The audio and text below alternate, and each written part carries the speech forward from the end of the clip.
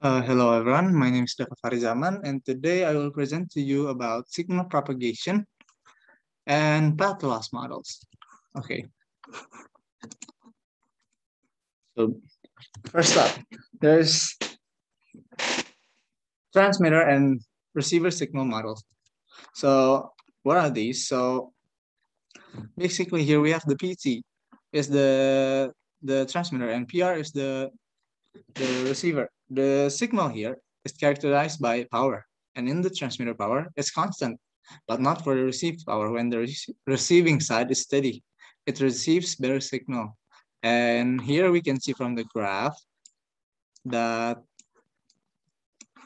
the y-axis depends on the power received since the transmitted power is constant. The x-axis depends on the distance between transmitter and receiver.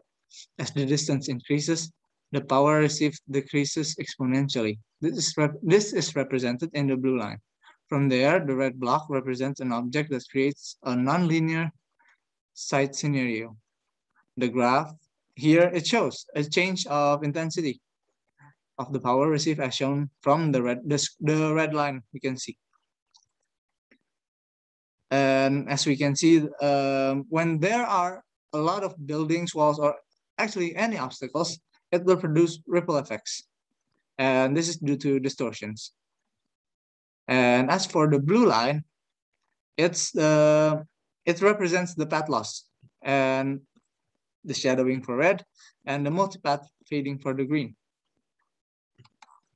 Okay, so next up, so path loss modeling. Path loss modeling um, is comprised of a couple parts, Maxwell's equation, which uh, which involves the complex and impractical, and free space and two-path models, which are, are too simple to be considered a real case, and ray tracing models to it requires site-specific information, single slope path loss exponent model, uh, good for high-level analysis, and me measurement-based and standards model. Uh, this one is not accurate and used to assess different designs. Okay. Okay, so what we have here is called a free space or LOS model.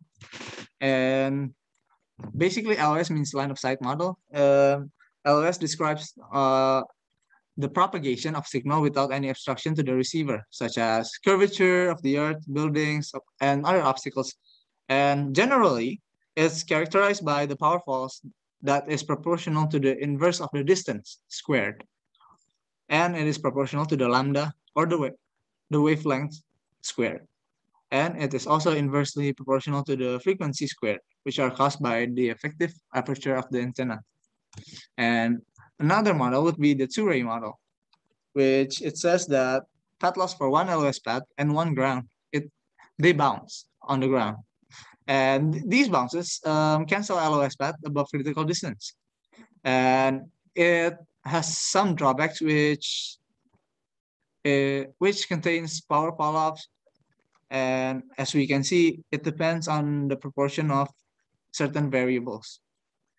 But what we can conclude is that the power decreases significantly when the distance is greater than its threshold distance, which is actually very far away. Okay, so next up, we have general ray tracing. Um, the model um, signal components as particles. Uh, the, the signals can be refracted, uh, reflected, or scattered. And it requires site geometry and dielectric properties, which can be easier than Maxwell. And, and how, how we can calculate this, we use computer packages usually and simulate, simulation. And the use of general ray tracing uh, takes into account most of the problems addressed before. Uh, but uh, in general, ray, ray tracing, ref the reflection part is generally more dominating. Okay, so and we also have the simplified path loss model, and it's used when path loss dominated by reflection. And most important parameter is the path loss exponent, uh, epsilon, determined empirically, which you can see here from the equation. And it's basically a simplification a simplified version of the path loss model. And here we have the DR or the receiver location, the D, the reference point of the receiver, the PR, the power received, and the PT, power transmitted. Okay, so we have MM wave, millimeter wave. So what's the big deal? So millimeter waves uh, are located in the high spectrum bandwidth, as you can see here. And from the image, it starts from the top left, which are the lowest frequency, to the highest spectrum. Uh, in the US, uh, for example, in the United States, the 5G is allocated in the 38 gigahertz spectrum. And the millimeter wave starts from the 60 gigahertz to 100 gigahertz. And because of this, because of the higher frequency, getting bandwidth is easier. Okay, now what about the propagation? The channel models itself are immature. It's based on measurements, few accurate and few accurate analytical models. As for path loss, uh, it's proportional to the lambda squared, which can be considered huge. And the millimeter waves actually still needs more research since its channels are still immature and more research needs to be conducted for it to be accurate, uh, which can be based on the measurements and the models itself. Okay. That all for me. I just want to say that the mind is just like a muscle. The more you exercise it, the stronger it gets and the more it can expand. By Idowu Koyenikan. Thank you.